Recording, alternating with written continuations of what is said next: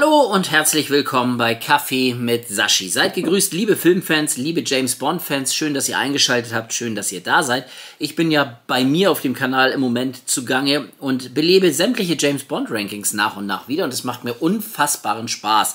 Tatsächlich ist es ja so, dass mein Kanal vor Jahren, als ich den Kanal erstellt habe, ja mit James Bond sozusagen angefangen hat.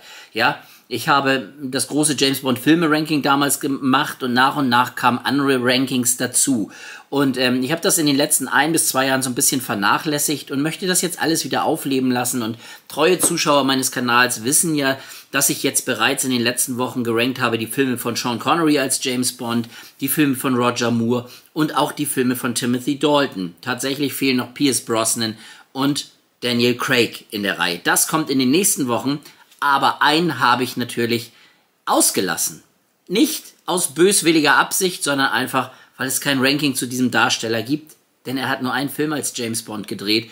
Und das war George Lazenby in Im Geheimdienst ihrer Majestät von 1969 und über diesen Film möchte ich heute mal ein bisschen mit euch reden, denn es ist ja einer der polarisierendsten Bond-Filme aller Zeiten. Ist er brillant oder ist das einfach nur Schrott für die Tonne? Ja, ähm, tatsächlich ist es so, man hat immer so ein bisschen das Gefühl, die Bond-Fans sind da in zwei Lager gespalten.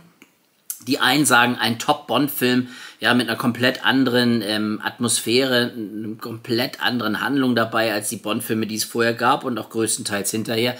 Und äh, andere sagen, das ist der größte Schrott und George Lazenby, der kann nicht mal schauspielern. Was ist denn das? Das ist kein James Bond-Film, der rankt ganz unten. Ja, also oft hörst du praktisch ähm, diese beiden Positionen unter den James Bond-Fans. Ähm, und ich möchte heute mal ein bisschen über diesen Film reden, weil es ja schon zu George Lazenby keine Ranking gibt. Trotzdem möchte ich ihn nicht auslassen. Ja, ich möchte ihn nicht so stiefmütterlich am Rande liegen lassen, denn dazu bedeutet mir der Film einfach zu viel. Das schon mal vorweg angeteasert. Leute, ich habe meinen Kaffee hier an der Seite stehen. Ich hoffe, ihr habt euer Lieblingsgetränk ebenfalls an der Seite stehen. Legt euch jetzt ganz entspannt zurück im Bett, auf der Couch, im Sessel, auf dem Stuhl, auf der Liege, im Urlaub, keine Ahnung, wo ihr gerade seid. Und am Ende des Videos bin ich natürlich wie immer gespannt auf eure Meinung. Was sagt ihr zu dem Film Im Geheimdienst ihrer Majestät und vor allen Dingen George Lazenby als Hauptdarsteller James Bond in diesem Film? Erster Schluck Kaffee geht auf euch, Leute. Schön, dass ihr da seid.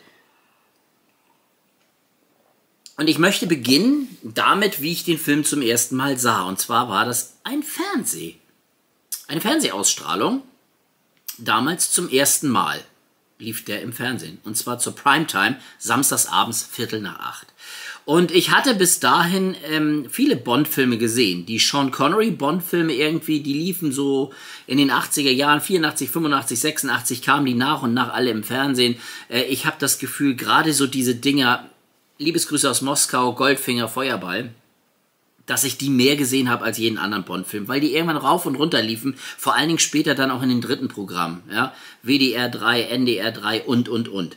Ähm, tatsächlich war es dann ja auch so, mein Bruder ist ja ein paar Jährchen älter als ich und der hat natürlich schon einen Videothekenausweis gehabt und hat in der Zeit immer die Roger Moore Bond-Filme mit nach Hause gebracht. Ja, in tödlicher Mission, Moonraker, der Spion, der mich liebte, im Angesicht des Todes, ähm, Octopussy. Ähm, und natürlich war ich eingeschossen auf diese Bond-Darsteller. Roger Moore und Sean Connery. Und dann gab es da ja noch diesen einen Bond-Film, ähm, den ich nur vom Plakat her kannte. Ich weiß, mein Bruder, der hatte so ein, so ein Heft, das konnte man durchblättern und da waren Videofilme drin ja, Videofilme und da war auch die gesamte James Bond-Reihe zum damaligen Zeitpunkt drin und ich habe mir die Cover angeguckt, damals die original gezeichneten Kinoplakate und habe zu meinem Bruder gesagt, aber bei diesem Film hier ist es weder Sean Connery noch Roger Moore, wer ist denn das? Und ich glaube, mein Bruder konnte mir auch keine richtige Antwort darauf geben. Es war George Lazenby und irgendwann in meiner Kindheit kam dieser Film dann an einem Samstagabend. Also es war ein James Bond Film, den ich relativ spät gesehen habe in meiner Karriere als James Bond Fan, ja. Ähm, es ist einfach so und der Film startete und das Ganze war ein Event. Es war ein Event. Das Ding fing an und das Ding hat mich von der ersten bis zur letzten Minute an gefesselt. Für mich ist das nicht nur ein James Bond-Film, es ist ein wahres Epos. Ich meine, das Ding geht irgendwie fast zweieinhalb Stunden und das damals im Jahr 1969, da hat man sich schon ein bisschen was getraut. Die Bond-Filme waren nie richtig kurz. Ich sag mal so, Dr. No und Liebesgrüße aus Moskau hatten je 105 Minuten, bei Goldfinger waren es dann schon 110 Minuten. Ähm, Feuerball hatte irgendwie 125 Minuten und der hier ist irgendwie rausgegangen mit 135, 140 Minuten. Und dieser Samstagabend war so einschneidend bei mir, weil ich einen James Bond-Film gesehen hatte, der komplett anders war als die bis dahin gesehenen Roger Moore Bond-Filme und Sean Connery Bond-Filme. Und es ist einfach so, ich sage es jetzt mal hier frei von der Leber weg, daran hat sich bis heute nichts geändert. Also es gibt ja so Filme, wenn du die siehst in deiner Kindheit und Jugend, dann verändern die sich irgendwann. Ja? Oder deine Sehge Sehgewohnheiten ändern sich auf diesen Film. Entweder sie werden irgendwie schlechter und du sagst, oh, der funktioniert bei mir jetzt nicht mehr so gut. Oder du siehst den Film irgendwie Jahre später und sagst, oh, den fand ich damals recht schlecht und langweilig. Mittlerweile funktioniert er recht gut. Bei diesem Film hier ist es tatsächlich so, dass er mir heute noch genauso gefällt wie damals. Also ich gehöre tatsächlich zu der Fraktion brillant. Was für ein toller Bond-Film. Und wer mein Ranking aus dem letzten Jahr kennt und ich glaube auch aus den Jahren davor, der kompletten James Bond-Filme, der weiß, dass dieser Film auf Platz 1 steht, meiner absoluten Lieblings-Bond-Filme. Also aller Bond-Filme ist das meine Nummer 1. Wahrscheinlich, weil er so anders daherkommt. Nun ist es natürlich auch so, die Daniel Craig Bond-Filme kommen auch anders daher als die Bond-Filme vorher. Sehr viel gefühlvoller. James Bond, der auch mal eine Träne verdrücken darf irgendwie. James Bond, der Gefühle zeigen kann. All das gab es in diesem Film auch schon. Und trotzdem fühlt dieser Film sich für mich tausendmal mehr nach einem James Bond-Film an als jeder Daniel Craig Bond-Film. Ähm, ich weiß nicht, womit das zusammenliegt. Es kann sein, dass es eine andere Zeit war. Es kann sein, dass man noch viel, viel, viel, viel, viel mehr Wert gelegt hat auf die James Bond-Merkmale, auf die ich ja immer wieder zu sprechen komme, wenn ich über James Bond rede. Ja, da wäre natürlich die Musik, James Bond-Thema, kommt in diesem Lied, äh, in diesem Film verdammt oft vor James Bond im Smoking kommt vor. Ich finde, der Hauptdarsteller muss auch eine gewisse Ausstrahlung haben, wie ein Geheimagent, finde ich bei George Lazenby auch. Also es müssen so gewisse Dinge einfach da sein und es darf nicht zu verkopft sein. Und das unterscheidet diesen Film wieder von den Daniel Craig Bond-Filmen. Also da, wo die Daniel Craig Bond-Filme sagen, wir wollen modern sein und in der heutigen Zeit mitschwimmen und müssen dadurch den Helden ein wenig gefühlvoller machen und er muss auch mal weinen können und er muss auch zu seinen Gefühlen stehen können. Das ist hier genauso aber man geht nicht so auf diese Memmen, oberhochsensible Schiene. Ja, also James Bond bleibt weiterhin ein Held, ein harter Kerl. So 69 halt. Ja, ich kann ähm, nur so viel sagen dazu, dass das mein absoluter Lieblings-James Bond-Film ist und zwar in allen Belangen. Natürlich, auch dieser Film hat einige Schwächen. Ja, äh, welcher Film hat das nicht? Es gibt ganz wenig Filme, von denen ich sagen würde, das ist der perfekte Film, der macht alles richtig. Ja, da würde mir vielleicht eine Handvoll einfallen, so fünf Filme oder so. Ja, ähm, wer daran Interesse hat, einfach mal meine Top 100 durchsuchten. Ja, habe ich hier mal vorgestellt, meine Top 100 Lieblingsfilme. Gerankt von Platz 100 bis hoch zu Platz 1. Und da so die Top 5, das sind so für mich perfekte Filme. An denen gibt es nicht viel auszusetzen. Worum geht es in James Bond im Geheimdienst ihrer Majestät? Naja, es geht darum vor allen Dingen, dass James Bond scheinbar zum ersten Mal so richtig verknallt ist. Also so richtig in Liebe und zwar mit Tracy, gespielt von Diana Rick.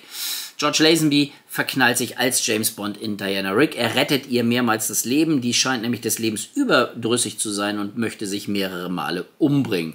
Zumindest im Buch. Im Film ist davon nur einmal etwas zu sehen, und zwar in der Pre-Title-Sequenz, als sie sich im Meer ertränken lassen will. Also sie möchte sich gerne ertrinken lassen vom Meer. Kann man das so sagen? Hört sich irgendwie bescheuert an. Äh, tatsächlich stelle ich mir andere Arten leichter vor, sich das Leben zu nehmen, als irgendwie bekleidet in einem Abendkleid ins Meer zu stiefeln und darauf zu hoffen, dass man jetzt gleich ertrinkt. Naja gut, muss sie selber wissen, sie wird auf jeden Fall von James Bond gerettet. Sie ist die Tochter von Mark Ainge Draco. Das ist ähm, tatsächlich auch ein Verbrecher. König, ähnlich wie Blofeld und Bond erhofft sich jetzt praktisch über sein Erzfeind Blofeld Informationen aus Draco herausquetschen zu können. Der sagt natürlich, kriegen wir hin, wenn sie meine Tochter heiraten, Tracy. Ähm, Draco ähm, versorgt Bond dann mit Informationen, sagt ihm, wo er ihn finden kann, nämlich in der Schweiz in so einem großen Sanatorium oben auf dem Berg drauf, da hat er sein Hauptquartier und da tarnt er sich sozusagen als ähm, Virologe, ja, also so ein, so ein Typ irgendwie Allergikologe, der da irgendwelche Allergien erforscht und und und und ähm, allerdings im Hinterstübchen natürlich wie immer bei Blofeld, dem Erzfeind von James Bond, dem Oberhirn von Spectre, ähm, an einem perfiden Plan arbeitet. Ja, da sind nämlich so ein paar Frauen, die wollen ein paar Allergien loswerden, werden durch Blofeld hypnotisiert. Ähm, gleichzeitig bekommen sie aber während dieser Hypnose irgendwelche Befehle, dass sie irgendwann ein Gif Gift ähm, versprühen über die Erde und damit praktisch die Bevölkerung ausrotten und auslöschen können. Ähm, tatsächlich ist es so, Blofeld erpresst dann wie immer die Regierung und möchte Geld erheimsen, erschleichen und ähm, tatsächlich dann mit Immunität irgendwann davonkommen und man soll ihm sämtliche Verbrechen irgendwie zu den Akten legen und verzeihen und ihm erlassen und und und. Ähm, ja, James Bond, äh, ich finde einfach diese ganze Story ist hervorragend erzählt. Ja, es ist nicht so, dass es am Ende einen großen Countdown gibt, wie ein Goldfinger oder im Vorgänger von dem Film Man lebt nur zweimal, wo irgendwie ein Countdown runterzählt und bei dem und dem und der Zahl bei Null, da passiert irgendwas, sondern es ist einfach ein waschechter Agentenfilm. Die erste Hälfte besteht daraus, dass James Bond ermittelt. Wo ist Blofeld? Wie kommt er zu Blofeld? Wie kann er sich tarnen da oben? Dann ist es so, dass er da eindringt in diese Alpenfestung ähm, und sich ausgibt praktisch als jemand anders, nicht als James Bond, ist ja logisch irgendwie. Ähm, tatsächlich fragen immer ganz viele, warum erkennt Blofeld ihn eigentlich nicht wieder? Ja, er kennt ihn ja aus Man lebt nur zweimal. Ja, die Antwort ist eigentlich ganz klar. Die Romane spielen genau umgedreht. Ja, also eigentlich sind die Bücher umgedreht. Dieser Film, ähm, die Handlung dieses Films spielt in den Büchern vorweg und deswegen erkennt er ihn halt nicht. Das hätte man natürlich im Drehbuch irgendwie berücksichtigen müssen. Ähm, hat man irgendwie nicht richtig hingekriegt. Okay. Gut, nehmen wir es einfach mal so hin. Also wie gesagt, die erste Hälfte des Films ist absolute Ermittlungsarbeit. James Bond, der rumschleicht, oben in der Alpenfestung sich eingeschlichen hat, eine geheime Tarnung hat, ähm, ermittelt, worum geht's eigentlich, was plant Blofeld wieder. Und dann ist es so, dass er enttarnt wird und eingesperrt wird. Er kann dann allerdings fliehen an einem Heiligabend. Er spielt an Weihnachten, dieser Film im Winter in der Schweiz. Er flieht dann, um seine Informationen London mitzuteilen und wird von Blofeld und seinen Schergen gejagt bis zum großen Finale dieses Films. Und ähm, ich könnte viel mehr darüber sagen. Ich könnte wirklich sprudeln, aber so lange reicht meine Kameralaufzeit nicht und ich glaube, ihr habt vielleicht auch noch was anderes heutzutage vor. Es ist also dieses gesamte Ding ein waschechter Spionage-Agentenfilm von einem Mann, der ein Ziel verfolgt, nämlich den Bösewicht des Films zu schnappen, sich undercover getarnt in dessen Festung einschleicht und dann mit den erhaschten und ähm, zusammengetragenen Informationen fliehen muss, um seinen Geheimdienst und die Regierung zu informieren darüber. Darum geht es. Und ähm, was der Film super, super gut macht, ist einfach die Atmosphäre. Wie dieser Film mit dieser Weihnachtszeit spielt in der Schweiz, mit diesen verschneiten Bergen, ist einfach nur fantastisch. Leute, ich habe jedes Jahr zu Weihnachten das Gefühl, wenn ich das Ding gucke, ich feiere mit James Bond und Blofeld Weihnachten. Wünscht man sich das? Ich glaube jetzt nicht unbedingt, zumindest nicht mit Blofeld. Mit James Bond würde ich schon gerne mal ein bisschen schnacken. Ähm, wahnsinnig gut, wahnsinnig gut in Szene gesetzt und es war auch einfach ein Glückstreffer. Hier, Regisseur Peter Hunt, zum ersten und einzigen Mal, ähnlich wie George Lazenby, als Regisseur einzusetzen, denn er versteht es einfach, die Figur des James Bond gefühlvoller darstellen zu lassen, als die vorangegangenen Regisseure Terence Young und Guy Hamilton. Er schafft es einfach, George Lazenby anders darzustellen, gleichzeitig aber auch so, dass man denkt, es könnte auch der Sean Connery Bond sein. Im Deutschen natürlich nochmal vereinfacht dadurch, dass er die gleiche Synchronstimme hat von Gerd Günther Hoffmann wie Sean Connery in den Vorbonds. Ja? Und ähm, es ist einfach diese Atmosphäre und das gut in Szene gesetzte, die gut in Szene gesetzten Locations in der Schweiz. Wahnsinn. Ja, die verschneiten Berge, die Hänge, die Bobbahn, dann das kleine Örtchen, wo Bond sich versteckt, während da so ein Fest gefeiert wird, das Weihnachtsfest, und alle laufen auf dem Eis und Bond schlägt sich so seinen Kragen hoch. Wahnsinn. Und dann kommt Tracy und ähm, nimmt ihn im Wagen mit und tatsächlich die starke Frau an Bonds Seite. Ja, damals 1969 eine richtig, richtig gute, starke Frau. Nachdem die Bond-Ladies im Vorgänger, man lebt nur zweimal, unfassbar blass für mich waren. Also die bleiben kaum im Gedächtnis und tatsächlich hat man ja im Nachfolger Diamantenfieber dann tatsächlich so eine Naive genommen, ähm, wie Tiffany Case, also furchtbar. Da ist das eine Ausreißer. Diana Rick als Tracy, wahnsinnig stark, in Bond verknallt, sie will ihn heiraten, sie rettet ihn, sie besteht mit ihm am Ende das Abenteuer. Allerdings tut Bond auch was dazu bei. Also die ergänzen sich gut in diesem letzten Drittel des Films, wie ich finde. Und das Ganze ist einfach so toll anzusehen. Die ganze Stimmung dieses Films, die Kameraarbeit, die Regiearbeit von Peter Hunt. Und kommen wir mal zu den Darstellern. Natürlich, ich habe schon gesagt, Diana Rick, eins meiner absoluten Lieblings-Bond-Ladies Bond Girls steht bei mir immer auf Platz 1. Ich mag die einfach. Sie ist James Bonds Frau, ja, und James Bond hat für mich nie eine andere Frau gehabt, ja. Also, Ehefrau, sie heiraten ja am Ende tatsächlich. Ich mag Telly Savalas als Blofeld, obwohl er mir ein wenig zu aktiv ist. Ähm, Blofeld ist für mich eigentlich immer dann sehr bedrohlich, wenn man ihn wirklich nur sieht, ab hier mit seinen Händen und der Katze. Also ähnlich wie Donald Pleasance. Hier schwingt Blofeld sich tatsächlich selber auf Skier und verfolgt Bond die Alpen runter. Also die verschneiten und vereisten Hänge auf Skiern. Okay, gut. Blofeld hat eine unfassbare Typveränderung durchgemacht, seit man lebt nur zweimal. Ähm, dann haben wir natürlich dabei Ilse Steppert, eine deutsche Schauspielerin, die Irma Bunt spielt. Ja, also das ist die rechte Hand von Blofeld, ein wahrer Drache. Erinnert so ein bisschen an Rosa Klepp aus Liebesgrüße aus Moskau, gespielt von Lotte Lenia damals. Ähm, Wahnsinn, wie die Bond da auch teilweise über, über den Mund fährt, wie sie ihn wie so einen kleinen Jungen teilweise behandelt und dann am Ende ja für das tragische Ende auch zuständig ist von diesem Film. Und natürlich müssen wir reden über George Lazenby. Viele sagen immer, oh, die Eintagsfliege der hat keine Ausstrahlung und der kann es mit keinem anderen Schauspieler auf sich nehmen. Ähm, tatsächlich ist es natürlich so, ein Sean Connery erreicht George Lazenby von der Charakteristik her, von der Ausstrahlung nicht. Aber ich könnte mir keinen anderen Schauspieler hier vorstellen in der Rolle des James Bonds außer George Lazenby. Ja, ich mag den einfach gerne. Ich mag sein Spiel. Ich mag dieses leicht sensible, was er ausstrahlt. Ich mag aber auch die Härte, die er in den Kämpfen aufstrahlt, die hier viel energetischer und kraftvoller inszeniert sind als beim Sean Connery. Also wenn du Sean Connery siehst im Kampf mit Hans am Piranha-Becken im Vorgänger, man lebt nur zweimal, dann denkst du, da kämpft ein Kartoffelsack irgendwie mit Augen, Beinen und Armen. Und hier hast du echt das Gefühl, es ist ein junger, durchtrainierter Agent, der ähm, ordentlich powervoll und schnell zuschlägt und kurzen Prozess macht. George Lazenby macht das super. Also natürlich sind die Fußstapfen von Sean Connery riesig groß und er hat sich sogar extra beim Friseur dieselbe Frisur wie Sean Connery schneiden lassen, angeblich damals. Aber nichtsdestotrotz verleiht er dem James Bond eine ganz, ganz eigene Note. Dieses, wie ich ja bereits sagte, leicht sensible, dieses Verhaltene, dieses Zurückhaltende teilweise. Und dann ein, in der großen Endszene, was ich bereits sagte, alles, was da tragisch endet mit Tracy und Bond, ähm, der da sitzt, völlig geplättet, enttäuscht. Also George Lazenby macht das hier für mich großartig. Also wer immer sagt, ja, der kann doch nichts und so, kann ich nicht nachvollziehen für mich. Überhaupt nicht. Ich finde es einfach genial. Diesen ganzen Film. Und George Lazenby trägt ihn mit. Ja, ist ein toller James Bond für mich. Ähm, natürlich im Ranking der Bond-Darsteller, wenn ich die Bond-Darsteller ranken würde, würde er immer ganz unten sein.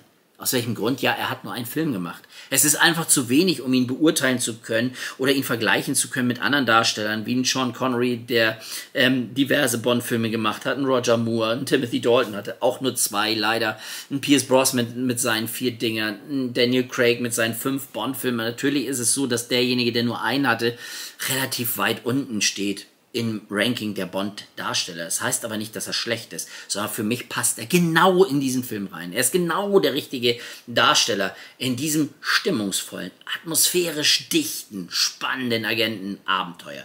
Und man muss einfach dazu sagen, natürlich, in der ersten Hälfte passiert actionmäßig nicht viel, aber das zieht an, wenn Bond dann von Piz Gloria aus dieser Alpenfestung mit seinen Informationen flieht eine waghalsige Skiverfolgungsjacht, die natürlich ein bisschen heutzutage gestört wird durch die schlechten Rückprojektionen. Also während ähm, George Lazenby praktisch so auf den Skiern steht, wackelt im Hintergrund die ganze Szenerie auf der Leinwand. Ja, natürlich hat man die Nahaufnahme mit George Lazenby, Telly Savalas im Studio gedreht und hinter denen ist dann irgendwie eine Leinwand zu sehen, wo jemand tatsächlich mit Skiern gefahren ist und das gefilmt hat. Aber das Ganze kombiniert mit den realen Skiverfolgungsszenen, gedreht von Willy Bogner, der teilweise rückwärts gefahren ist auf Skiern, dafür extra Skier angefertigt hat, teilweise hing er an einem Fallschirm oben an so einem Paraglider und hat gefilmt, wahnsinnig energetisch. Die beste Skiverfolgungsjacht, finde ich, zusammen mit der aus In tödlicher Mission bei James Bond. Ganz großartig und dann geht es ja weiter im Tal auch ungefähr. Ähm, wenn er dann mit Tracy im Auto ähm, praktisch flieht, dann zum Stockcar-Race da, dann fliehen die nochmals auf Skiern am nächsten Tag. Sie werden immer gejagt von Spectre und Blofeld. Dann gibt es noch eine Bob-Verfolgungsjagd, das große Finale auf Pitts Gloria, was dann von Helikoptern angegriffen wird, ja. Und Blofeld, der dann flieht und Bond ihn verfolgt in diesem Bob. Wahnsinn die Action-Szenen, richtig toll. Man hat alles rausgeholt aus dieser Location, verschneite Schweiz im Winter an Weihnachten. Ganz, ganz großartig, ja. Und natürlich, die großartigen Bilder werden untermalt von einem der besten Soundtracks bei James Bond. John Barry übertrifft sich hier fast selber, möchte ich sagen. Der hat so tolle Melodien, angefangen natürlich bei dem großartigen Hammer Anfangssong, ja, on Emergency Secret Service komplett instrumental gespielt, aber wie geht dieser Song bitte sehr ab? Hammer, was für ein Killer-Song.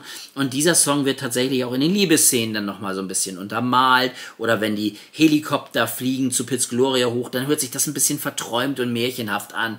John Barry, ganz, ganz großartig. Wirklich toll, der auch mal mit anderen Instrumenten so ein bisschen experimentiert. Der Soundtrack hört sich schon fast futuristisch an für die damalige Zeit. Für mich ein absolut toller Bond-Film. Deswegen bei mir auch auf der Nummer 1. Weil er so, so anders ist. Weil er natürlich so man könnte sagen, es ist der Daniel Craig von 1969, allerdings ohne dieses depressive Verkopfte. Er ist immer noch James Bond dabei. Er weiß, um was es geht. Er heult da nicht rum, sondern er nimmt die Fäden in die Hand und los geht's. Für mich, wie gesagt, ein brillanter Bond-Film mit einem tollen George Lazenby. Es ist einfach so. Ich liebe diesen Film im Geheimdienst ihrer Majestät von vorne bis hinten. Und ich hätte gerne gesehen, dass George Lazenby weitere Bond-Filme dreht. Ich hätte auch gerne gesehen, dass der Regisseur Peter Hunt vielleicht nochmal die Chance gekriegt hätte, weitere Bond-Filme zu inszenieren. Denn das, was Guy Hamilton in den folgenden Filmen gemacht hat, nämlich in ähm, Diamantenfieber und Leben und Sterben lassen, sowie der Mann mit dem goldenen Colt, war ganz weit davon entfernt, von diesem Meisterwerk was die Handlungsspannung und Darstellerkunst angeht. Wirklich, Leute, muss ich einfach sagen. Und jetzt bin ich gespannt auf eure Meinung zu diesem Bond-Film im Geheimdienst ihrer Majestät. Ist er für euch brillant oder miserabel? Wie findet ihr George Lazenby in dem Film? Schreibt es mir unten rein, Leute, und wir sehen uns dann morgen wieder, wenn ihr Lust habt, wenn ihr dieses Video zeitnah schaut. Morgen starte ich nämlich mit einem neuen Format. Seid also gespannt. Also, Haltet die Ohren steif, seid weiterhin wachsam, bleibt gesund und schaut Filme.